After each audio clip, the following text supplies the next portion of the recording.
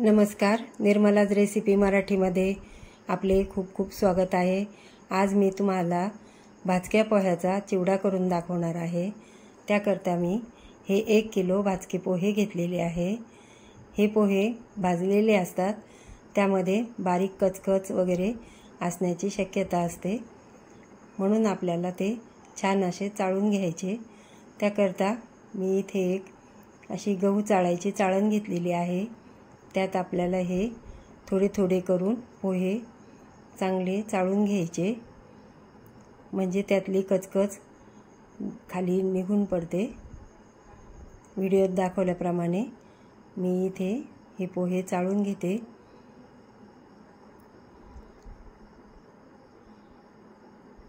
पोहे चाळून झाल्यानंतर मी एका मोठ्या भांड्यात टाकून घेणार आहे.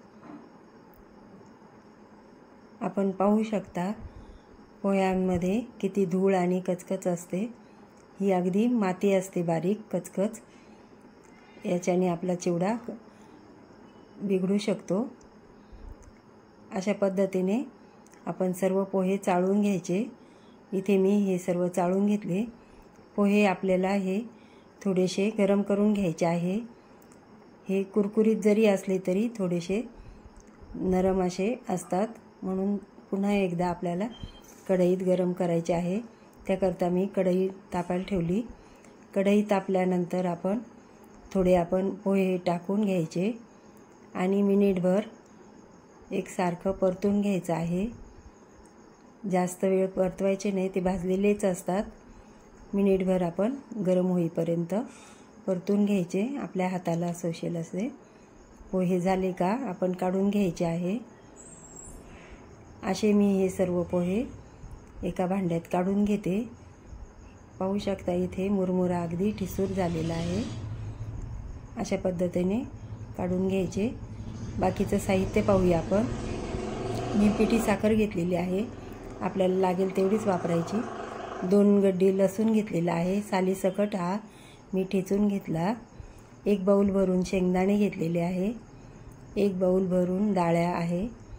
एक बाऊल भरून खोबऱ्याचे काप घेतले आणि मोठा बाऊल भरून कढीपत्ता घेतलेला आहे. चवीनुसार आपल्याला मीठ लागेल. मसाले पाहूया आपण आता. हे पन्नास ग्रॅम मी हा चिवडा मसाला घेतलेला आहे. दीड चमचा लाल तिखट आहे. हे घरातलं लाल तिखट आहे आपलं. चवीला हे तिखट आहे. हे रंगाकरता आपण काश्मीरी तिखट घेतलं. एक छोटा चमचा मी आमचूर पावडर आणि एक चमचा हळद घेतलेली आहे. आपल्याला एवढे मसाले लागणार आहे. दोन चमचे मोहरी आणि दोन चमचे जिरं घेतलं. आता सर्वात आधी आपण तेल टाकून घेऊ. आपल्याला या या चिवड्याकरता अडीचशे ते तीनशे ग्रॅम तेल घ्यायचं आहे. आपलं हे तेल तापलं की आपण त्यात शेंगदाणे तळून घेऊ. सर्वात आधी आपल्याला छान असे खरपूस शेंगदाणे असे तळून घ्यायचे.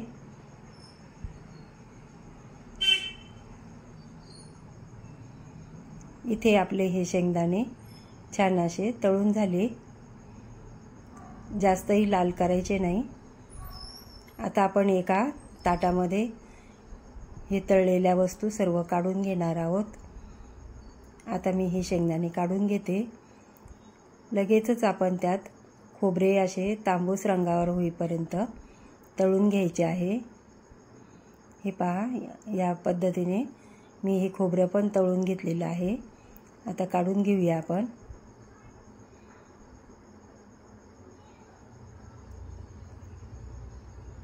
खोबरे काढून घेतले की आपण त्यात मिनिटभर डाळ्या तळून घ्यायच्या आहे. डाळ्या जास्त तळायच्या नाही. कारण त्या भाजलेल्या असतात. अगदी मिनिटभर आपल्याला तेलात खालीवर असं करून काढून घ्यायचे.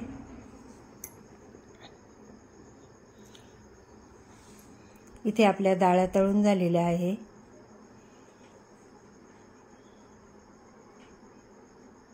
डाळ्या तळून झाल्या की आपण त्यात कढीपत्ता टाकून चांगला कुरकुरीत होईपर्यंत तळून घ्यायचा. कढीपत्ता नरम ठेवायचा नाही. अगदी कुरकुरीत होऊ द्यायचा. नाहीतर आपला चिवडा नरम पडू शकतो.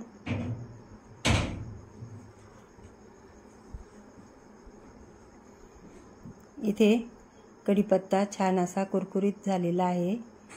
आता आपण हा काढून घेऊया.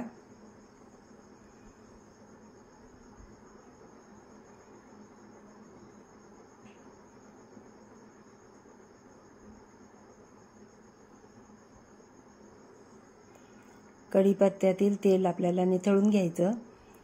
आता त्याच तेलामध्ये आपण छान लसूण लालसर होईपर्यंत तळायचं आहे. लसणाचा अर्क पूर्ण तेलामध्ये आपला छान उतरेल. या पद्धतीने आपण मोजकंच तेल घेतलेलं आहे. लसूण पण आपल्याला लाल होईपर्यंत तळायचा. इथे आपला लसूण पण तळून झाला. आता काढून घेऊया.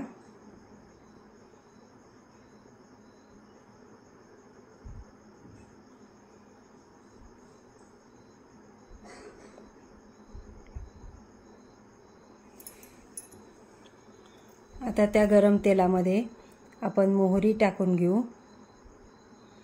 मोहरी आपल्याला छान अशी तडतडू द्यायची आहे. मोहरी चांगली फुटली पाहिजे त्यात. मोहरी कच्ची राहिली तर खाली तळालाच राहते. म्हणून आपल्याला छान अशी फोडून घ्यायची. मोहरी फुटली का आपण जिरे घालून घ्यायचे. जिरे तडतडले का आपण गॅस बंद करायचा आहे? थोडा वेळ आपण हे तेल थंड होऊ देऊ. जास्त कडक तेल आहे. तेल थोडं थंड झालं की आपल्याला त्यात मसाले टाकायचे. ताबडतोब मसाले टाकले की आपली म मसाले तळण्याची जळण्याची शक्यता आहे. हे पहा. हे मसाले मी इथे तळून घेते. आपल्याला एकसारखं असं तळून घ्यायचं आहे मसाला.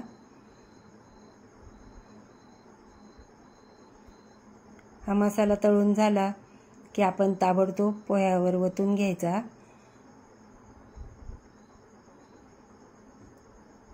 मसाला आपला तळून झालेला आहे. हे पहा मी इथे पोह्यांवर सर्व मसाला टाकून घेतला.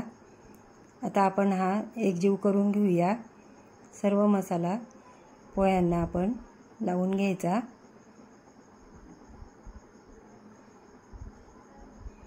सर्व हे पोहे एकजीव करून घेतले की त्यात आपल्याला चार चमचे पिठी साखर टाकायची आहे. हे प्रमाण माझं अगदी योग्य आहे.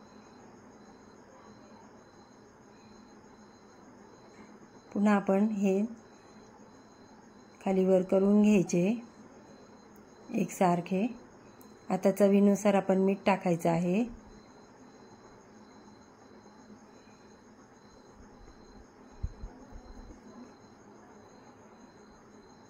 मीठ टाकल्यानंतर पुन्हा आपण हे हलवून घ्यायचे. आपल्या पोह्याला छान असा रंग येतो. आता हे तळलेले सगळं साहित्य त्यात ओतून घ्यायचं आहे.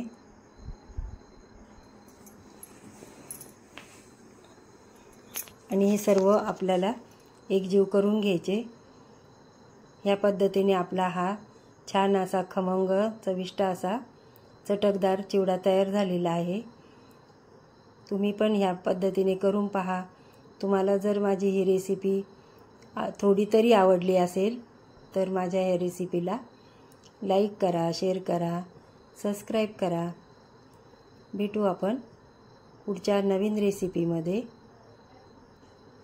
तोपर्यंत बाय